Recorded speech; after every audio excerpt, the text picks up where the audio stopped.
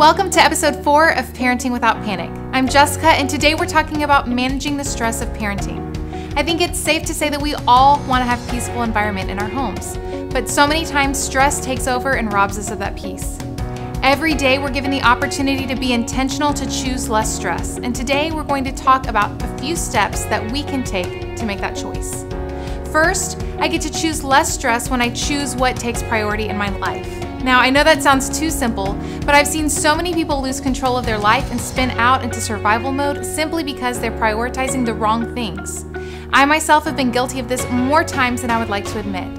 I set a goal and I say one thing is important, but then my actions show something completely different and I give my time to other things. So here's a choice that I have personally made.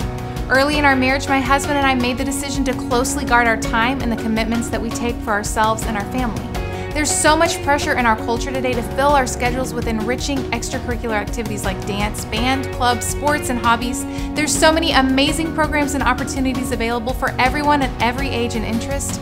And while all those things can be so fun and beneficial, it's also so easy to busy oneself from sunup to sundown and schedule every minute of the day, leaving no time for rest and quality time with family. So in our family, we've made the choice not to overcommit ourselves. We didn't want to follow the pattern of so many families that we'd seen, running from one activity to the next, eating meals on the go, and always running in different directions. We chose to prioritize family time and dinner around the table together. And we've been able to avoid a lot of stress for ourselves and our kids because we made that choice. Now, another thing I've done that has helped me reduce stress is develop a consistent routine. I found that I can prevent a lot of stress just by setting up a system and sticking to it. I'm sure we've all experienced a mix of peaceful mornings as well as chaotic ones, and I know for me there are steps that I can take to ensure the morning goes smoothly. If I have all of the homework signed and thought through the plans for the meals that day and had my kids prep their clothing and book bags the night before, we generally have a smooth and peaceful morning. Everyone has what they need, and we're ready to walk out the door with time to spare without me running around like a crazy person and yelling at everybody. On the flip side, if I go to bed without thinking through the plan for that day, or if I oversleep, the morning will quickly become stressful, not just for me, but for my entire family. I have the power to make some choices to contribute to peace in my home. So even when I'm tired, I'm intentional to be consistent with the routine in place because I know in the end it reduces stress and brings peace. Now, I also know that no amount of planning on my part will completely eliminate my stress as a parent because let's face it, life happens. It's full of unexpected interruptions and things happen that will throw everything out of whack, and there my beautiful plan goes right out the window. And then there's kids. Kids will be kids. They're still growing and learning. They're not good at controlling their emotions. Siblings fight and pick at each other. They can turn the house upside down in two seconds flat, and they know how to push your buttons. All of your buttons. They have the ability like no one else to do that. And so, what do you do when life completely stresses you out? Make a strategy to manage your stress and implement it before you lose it. This is what that looks like for me.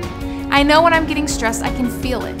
For a long time, I would just try to fight through it. I would just keep on going and continue to operate in that stressed out frame of mind.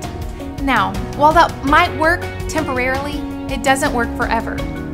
Our brains don't function well under stress, and our decision making ability is severely impaired. Inevitably, I would end up pushing myself so hard that I would lose it. And so instead of staying in that stressed out mindset, I've started to take a pause and reset. I stop, step away just for a minute. Sometimes I lock myself in my room or step outside in my backyard by myself, and I take a minute to breathe and calm my mind, and I pray and ask God for His help in that moment.